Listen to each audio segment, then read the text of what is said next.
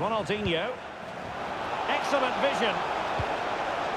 Griezmann. Can he put them in front? Yes is the emphatic answer. And you have to say... It